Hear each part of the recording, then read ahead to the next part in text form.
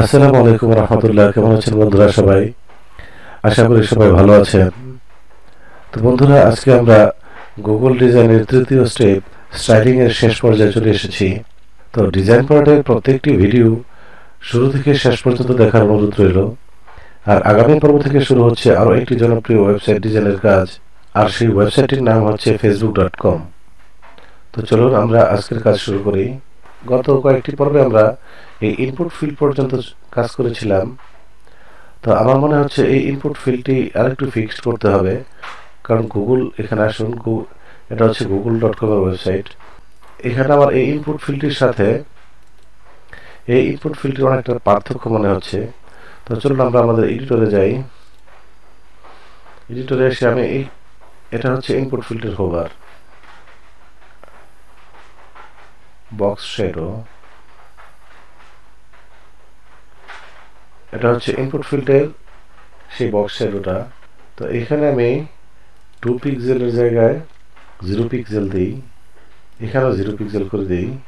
এবার পেজটি সেভ করি এবং রিলোড দিই। এখন ঠিক আছে আমার মনে হচ্ছে।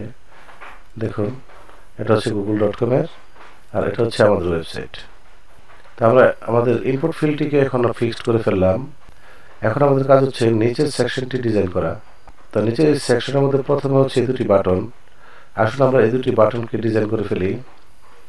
তো এই দুটি বাটনকে ডিজাইন করতে হলে আমাদেরকে বাটন ডিভের ভিতর বাটনকে ধরতে হবে। বাটন ডিভের বাটন বাটন ডিভের ভিতরে বাটন ট্যাগ বাটন ট্যাগকে ধরতে হবে। বাটন ট্যাগকে ধরলাম। এখন আসুন দেখি আমরা আমাদের বাটনের মধ্যে কি কি কাজ করতে হবে। গুগল ডট কমে চলে যাই। এখানে দেখুন, গুগল ডট কমের বাটনগুলো। গুগল ডট কমের বাটনগুলো অনেকটা প্রশস্ত। আমাদের বাটনগুলোকেও প্রশস্ত করতে হবে। তা আমাদের বাটনগুলোকে প্রশস্ত করতে হলে এখানে বাটন বাটন ট্যাগের মধ্যে প্যাডিং দিতে হবে। প্যাডিং এইট পিক্সেল দেই উপরে নিচে এইট পিক্সেল এবং ডানে বামে সিক্সটিন পিক্সেল যেহেতু বাটন দুটি পাশাপাশি শুরু করছে, সেহেতু আমরা জানি না, এটা ডিসপ্লে ইনলাইন না ইনলাইন ব্লক তো যদি ইনলাইন হয়ে থাকে, তাহলে প্যাডিং কাজ করবে না। তাই আমরা এখানে ডিসপ্লে চেঞ্জ করে দিব। ডিসপ্লে ইনলাইন ব্লক করে দিই। ইনলাইন ব্লক আর আমরা এখানে ডিসপ্লে ইনলাইন ব্লক করে দিলাম, যেন প্যাডিং ঠিকঠাক কাজ করতে পারে, তো আসুন এবার রিলোড দিই। দেখতে পাচ্ছেন আমাদের প্যাডিং কাজ করেছে এখানে। তো এখন আসলে আমরা গুগল ডট কমে যেয়ে দেখি তারপরে কি কাজ করতে হবে। এখানে আমরা দেখতে পাচ্ছি বাটনে একটি ব্যাকগ্রাউন্ড কালার আছে। তাহলে ব্যাকগ্রাউন্ড কালার প্রথমে ব্যবহার করি। বাটনের মধ্যে ওরা কি ব্যাকগ্রাউন্ড কালার ব্যবহার করেছে, সেটা আমাদের জানতে হবে। তো সেটা জানার জন্য আমাদেরকে বাটনটিকে ইন্সপেক্ট করতে হবে। বাটনের মধ্যে ওরা কি কালার ব্যবহার করেছে? এটা হচ্ছে বাটন। এখন বাটনের মধ্যে কি কালার ব্যবহার করেছে? এখানে দেখুন। বাটনের মধ্যে ওরা, বাটনের মধ্যে background colour F two F two এখান থেকে কপি করি। তারা F two F two colour ব্যবহার করেছে। কপি এবার আমরা আমাদের এডিটরে চলে আসি। ব্যাকগ্রাউন্ড কালার তারা ব্যবহার করেছে F two F two F two এগুলো একটি রঙের নাম। হ্যাশ দিয়ে এই রঙগুলো ব্যবহার করতে হয়। তো আসলে এবার আমাদের ওয়েবসাইটে পেজটি সেভ করে রিলোড দিই। দেখতে পাচ্ছেন কালারটি আমাদের বাটন দুটি পেয়েছে। তো এখন এখানে আমাদের একটি বর্ডার ব্যবহার করতে হবে। আসুন বর্ডার ব্যবহার করি। বর্ডার ওয়ান পিক্সেল সলিড আমরা ট্রান্সপারেন্ট কালারের একটি বর্ডার ব্যবহার করব। ট্রান্স ট্রান্সপারেন্ট এবার পেজটি সেভ করি এবং ওয়েবসাইটে রিলোড দিই। দেখতে পাচ্ছেন বর্ডারটি ব্যবহার করার পর কেমন ফিক্সড হয়ে গেছে আমাদের বাটন দুটো। তো এখন আমাদের কাজ হচ্ছে বাটনে আমরা বর্ডার দিলাম এবং ব্যাকগ্রাউন্ড কালার ব্যবহার করলাম। এখন আমার মনে হয় টেক্সটের মধ্যে ওরা একটি কালার ব্যবহার করেছে। এখানে খেয়াল করুন, যখন হোবার করি তখন টেক্সটের কালারটি একটু গাঢ় হয়, আর যখন নর্মাল থাকে তখন দেখতে পাচ্ছেন একটু ঝাপসা কালার তো ওরা এখানে কি কালার ব্যবহার করেছে সেটা আমাদেরকে ইন্সপেক্ট এলিমেন্ট করে বের করতে হবে, তাহলে সেম টু সেম হবে।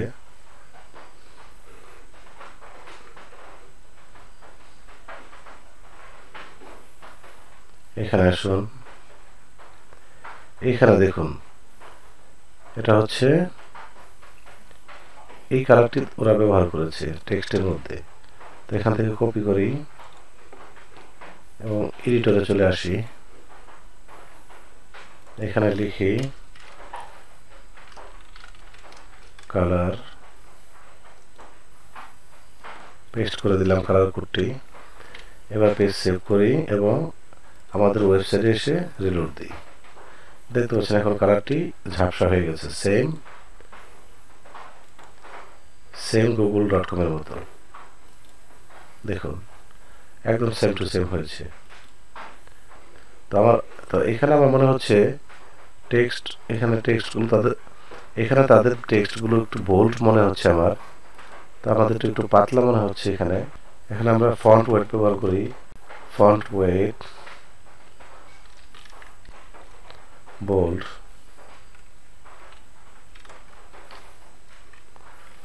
font weight bold এবার আমাদের ওয়েব পেজে এসে রিলোড দিই। হ্যাঁ এখন কিছুটা বোল্ড হয়েছে। তো এখন আমাদের কাজ হচ্ছে বাটন দুটিতে হোভার ইফেক্ট অ্যাপ্লাই করা। তো আসলে আমরা হোভার ইফেক্ট অ্যাপ্লাই করি। এখানে আমরা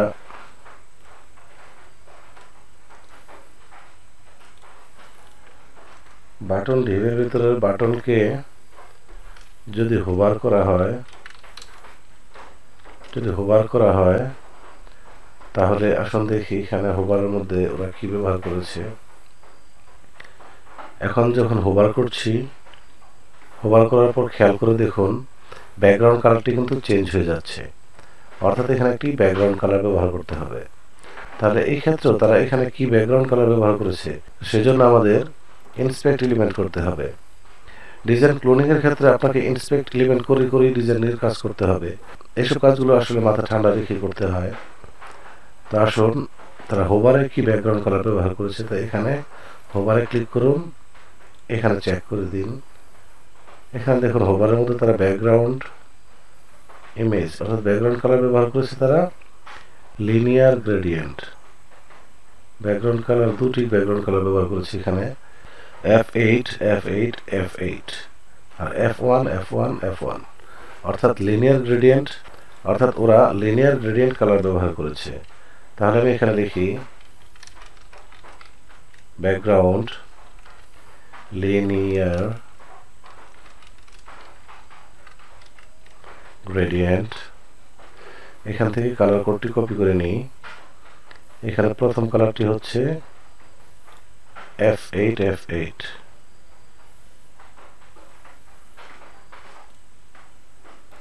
টোটালটাই কপি করে ফেললাম।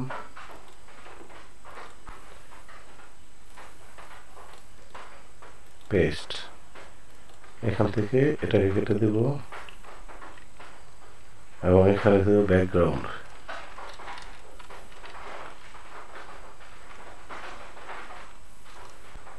background linear gradient linear top এখানে লাগবে না। এখানে টপ লেখার দরকার নেই। এখন পেজটি সেভ করি এবং রিলোড দিই। কারণ বর্ডার রয়েছে বর্ডারটি দিতে হবে এখানে। এখানে খেয়াল করুন, যখন হোবার করছি, তখন কিন্তু বর্ডারটি দেখা যাচ্ছে। এখানে আরেকটি বিষয় লক্ষ্য করুন। এখানে তারা বাটনের মধ্যে ছোট একটি বর্ডার রেডিয়াস ব্যবহার করেছে। তো, আসুন আগে আমরা বর্ডার কালারটি বের করে নিই, তারপর আমরা বর্ডার রেডিয়াস দিব। এখানে বর্ডারে ওরা কি কালার ব্যবহার করেছে দেখতে পাচ্ছেন? এই যে এখানে C six C six C six copy করলাম। এখানে এসে পেস্ট করে দিই। তো এইভাবে কপি পেস্ট না করাই ভালো। আর বুঝে শুনে কপি পেস্ট করতে পারেন, সমস্যা নেই। তো এখন পেজটি সেভ করি এবং আমাদের ওয়েবসাইটে এসে রিলোড করি। এবার হোবার করুন। দেখতে পাচ্ছেন? হোবার করার সাথে সাথে কিন্তু ব্যাকগ্রাউন্ড কালারটি চেঞ্জ হচ্ছে এবং বর্ডারটি শো করছে। তবে আমাদের বর্ডারটি হচ্ছে স্কোয়ার তো এখানে সামান্য বর্ডার রেডিয়াস ব্যবহার করতে হবে। আমরা এখানে বাটনের মধ্যে ব্যবহার করি। Border border radius four pixel ব্যবহার করি এখানে। কারণ ছোট্ট একটি বর্ডার রেডিয়াস এবার রিফ্রেশ করি। এবার হোবার করুন। হ্যাঁ একদম সেম টু সেম হয়েছে। গুগল আসুন। দেখুন, এটা আর আমাদের ওয়েবসাইট একদম সেম হয়েছে, ঠিক আছে। এখন আমাদের কাজ হচ্ছে, এখানে লক্ষ্য করে দেখুন, যখনই হোবার করছেন তখন কিন্তু টেক্সটের কালার আর একটু গাঢ় হচ্ছে। তো এখানে তারা, এখন যেহেতু ধরাই আছে, আমরা এখান থেকে দেখে নিই, ওরা এটা হোবার না।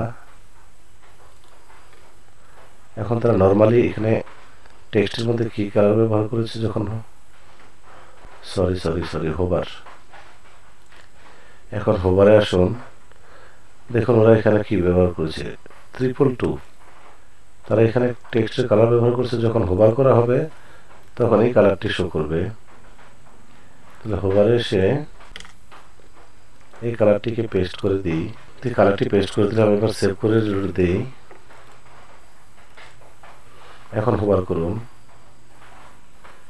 দেখতে পাচ্ছেন নর্মালি একটু ঝাপসা দেখাচ্ছে টেক্সটগুলো যখন আমি হোবার করছি, তখন টেক্সটগুলো কালারটি পাচ্ছে। এবার গুগল আসুন। দেখতে পাচ্ছেন সেম। আমরা মোটামুটি আমাদের বাটন দুটিকে ফিক্সড করতে পেরেছি। তো এখানে আরেকটি বিষয় রয়েছে। এখানে যখন আমরা হোভার করছি, তখন আমাদের কার্সারের আকৃতি কিন্তু পরিবর্তন হয়ে যাচ্ছে। এখানে দেখতে পাচ্ছেন হ্যান্ড সাইন।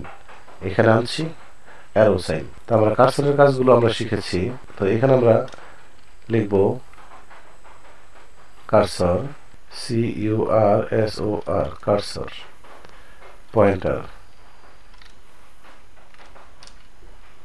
cursor pointer লিখে দিলেই রিলোড এবার হোভার করুন। দেখতে পাচ্ছেন, একদম পারফেক্ট গুগলের মতোই হয়েছে। তো এখন আমাদের বাটন দুটি ফিক্সড করা হয়ে গেছে। এখানে আরেকটি কাজ বাকি রয়েছে। এখানে এই বাটন দুটির মাঝখানে একটি গ্যাপ তৈরি করতে হবে। তো আমি বাটন দুটির মাঝখানে গ্যাপটি একটু পরে দেখাচ্ছি, কীভাবে করতে হবে। এখন আমরা প্রথমে পিটেকের কাজটি করে নিই। তো প্রথমে আমরা পিটেকটিকে নিচে নামাই। পিটেকটিকে নিচে নামাতে হলে এখানে পিটেক ধরাই আছে। গুগল টিভির ভিতরে পিটেক মার্জিন সরি মার্জিন টপ এখানে থার্টি পিক্সেল ব্যবহার করি। এবার রিলোড দিই। হ্যাঁ ঠিক আছে। হ্যাঁ একবারে পারফেক্ট হয়েছে। এখন এর ফন্ট সাইজ ছোট করতে হবে। তো ফন্ট সাইজটি যদি ছোট করতে হয় তাহলে এখানে ফন্ট সাইজ ছোট বলতে চোদ্দ পিক্সেল না বারো পিক্সেল দিব এখানে। বারো পিক্সেল এবার রিলোড দিই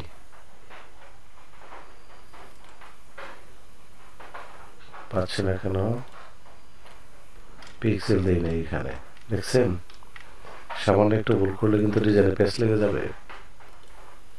এবার দেখতে পাচ্ছেন, আসুন গুগলের সাথে মিলাই।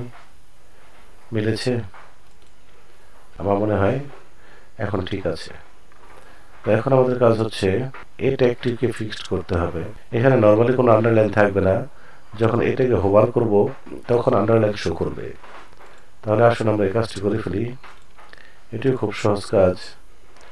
গুগল ডিবের ভিতরের পি ট্যাগের ভিতরের এ ট্যাগ এটাকে ধরে বলে দিব তোমার টেক্সট ডেকোরেশন ডেকোরেশন নান অর্থাৎ নর্মালি তোমার টেক্সট ডেকোরেশন আমি চাচ্ছি না। এবার রিলোড দিই। দেখতে পাচ্ছেন, এটাকে নিচের আন্ডারলাইন কিন্তু চলে গেছে এখন। তো আবার বলে দেবো এখানে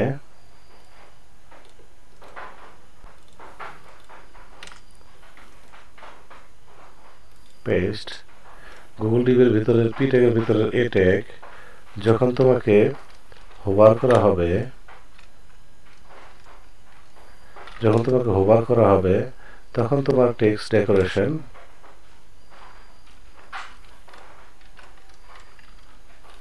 text decoration underline এবার পেজটি সেভ করলাম রিলোড দিন। এবার এই ট্যাগের মধ্যে হোভার করুন। দেখতে পাচ্ছেন, এখন আন্ডারলাইন আসছে। কার্সারটি সরিয়ে নিন আন্ডারলাইন নেই। অর্থাৎ গুগল ডট কমে এরকমই ছিল। এখন আমাদের বাটন দুটির মাঝখানে একটি গ্যাপ তৈরি করতে হবে। বাটন ট্যাগকে ধরে বলে দিই margin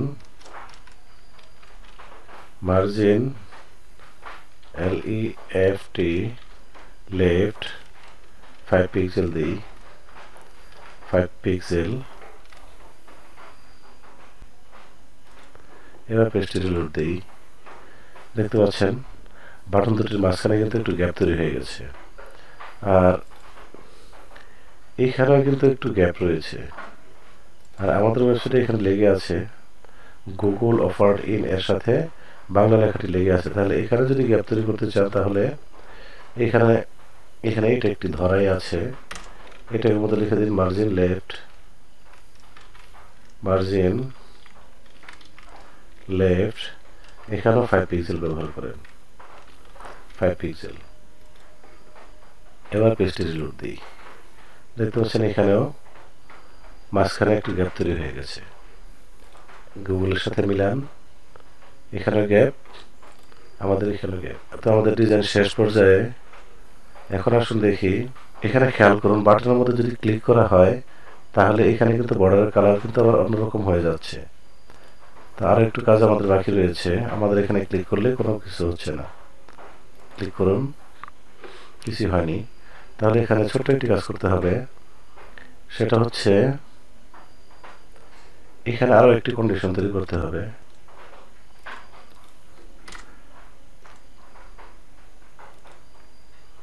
এখানে লিখতে হবে ফোকাস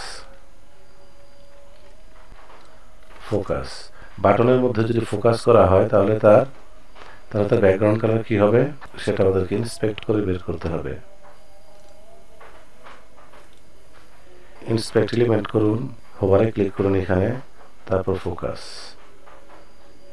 এইখানে দেখুন, এই যে ওয়ান পিক্সেল বর্ডার হচ্ছে ওয়ান পিক্সেল সলিড এই যে four D nine zero F E এটা হচ্ছে সেই কালার তাহলে এখান থেকে কপি করুন এডিটরে আসুন, এখানে পেস্ট করি, এবার পেস্টটি সেভ করি এবং রিলোড দিই। রিলোড দিলাম। এখন ফোকাস করুন, এখানে ক্লিক করুন, ছেড়ে দিন। দেখতে পাচ্ছেন? এখন কিন্তু সেম গুগলের মতোই আমাদের ডিজাইন হয়ে গেল। এটা কেটে দিই। ক্লিক করুন, দেখতে পাচ্ছেন? এখানে দেখুন। তো এইমাত্র আমরা গুগলের সার্চ পেজটি সাকসেসফুলি ডিজাইন করতে পারলাম। আমার ধারণা আপনারা সবাই বুঝতে পেরেছেন। আর কারও কোথাও বুঝতে সমস্যা হলে ভিডিওতে কমেন্টের মাধ্যমে আমাকে জানাবেন। আর ভিডিওটি যদি ভালো লেগে থাকে, তাহলে লাইক কমেন্ট শেয়ার এবং সাবস্ক্রাইব করবেন। তাহলে দেখা হচ্ছে পরবর্তী টিউটোরিয়ালে সে পর্যন্ত সবাই ভালো থাকবেন, সুস্থ থাকবেন। আল্লাহ হাফেজ।